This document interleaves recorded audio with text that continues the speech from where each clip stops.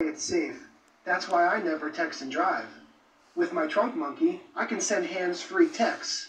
Send. I'm running late. I'll be there in 10 minutes. Bananas, bananas, bananas. The Trunk Monkey Texting Edition, only at Suburban Auto Group. If you want hunky, get with the monkey. Oh, so now he's a monkey.